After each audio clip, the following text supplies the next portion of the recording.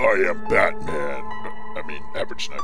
What's up, everybody? Average Sniper here, bringing you another update video. This is the July 31st patch notes for the patch that came out yesterday. I wanted to upload a video about this yesterday, but I was just way too busy at work and uh, didn't have a chance. I just went ahead and streamed and then planned to make this video today.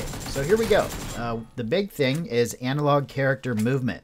We are no longer restricted by movement that happens only uh, with keyboard directions. We can now go the full 360 degree movement. That's why your sensitivity might feel a little off. There does seem to be a little bit of a bug with it too. I notice that when I'm sprinting and I look uh, left or right just a little bit with my left stick that it kind of messes up and stops my sprint.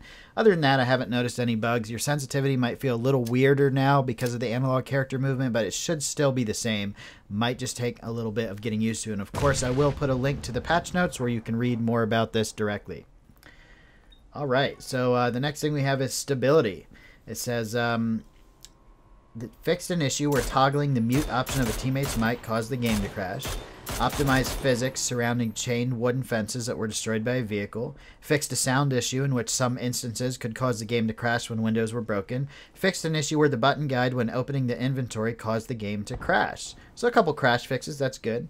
There's a few performance fixes too. Optimize the world loading so that assets will load at a faster rate. Improve loading speed of detailed textures on Xbox One X. Uh, optimize scoping levels and grass to reduce frame rate drops. So that's good.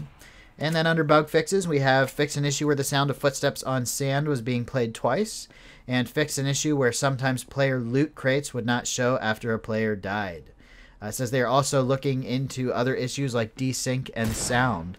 Uh, but that's it. That's all we have for uh, this patch. It's just a small hot fix, and like I said, the biggest part about it was that analog character movement. So check the link description if you want to go directly to the official post and read about it. Otherwise, I will see you guys on the next video or the next live stream. Later, everybody.